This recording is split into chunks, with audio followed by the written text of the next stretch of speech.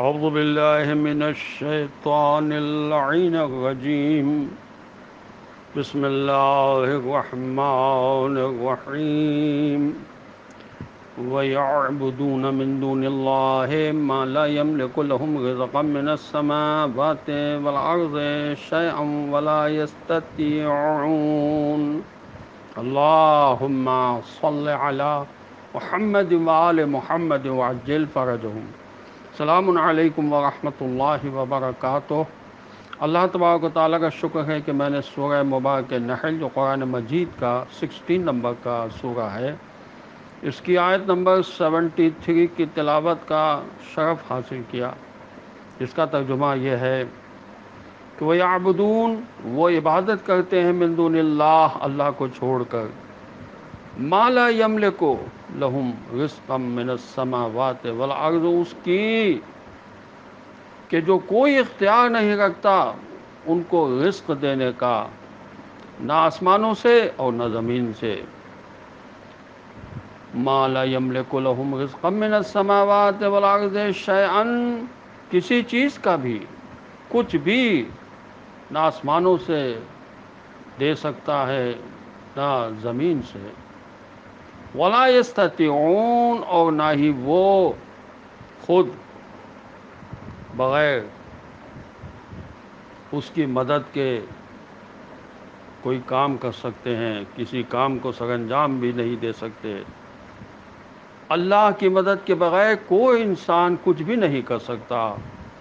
ये मदद, ताकत, तौफीक खुदा देता है।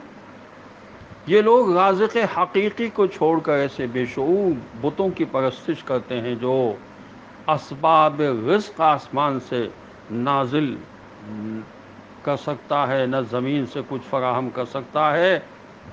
तुम्हारे मबूद की गिरफ्त में आफ्ताब भी है और उसकी ताबिश भी है, न ज़मीन और उसकी गुदगी उनके इख्तियार में कुछ भी नहीं है। तो ये कहाँ से तुमको रिस्क दे सकते हैं जिनको तुम मबूद समझते हो। तुम्हारे मबूदों में ऐसी सलाहियत सिरे से मौजूद नहीं है कि वो तुम्हें ज़मीन से एक दाना उगा कर दे सकें। मबूद तो वो होता है जिसके हाथ में रिस्क है। हर चीज़ का वो मालिक है।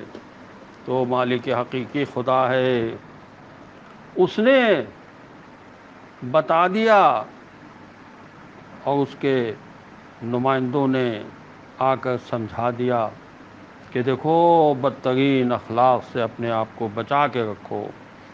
हज़रत अली फरमाते हैं कि नफ्स इंसानी का बदतरीन अखलाक जुल्म है, किसी पर जुल्म ना करो। चाहे वो तुम्हारा रिश्तेदार हो, चाहे रिश्तेदार ना हो, तुम्हारा जान पहचान वाला हो या ना हो, जुल्म किसी पर ना करो।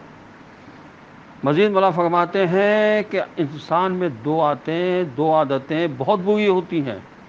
नंबर एक, अंदोहनाक, हिर्स व बखल। नंबर दो, बेहुदा बुजदली, ये बुजदली भी है।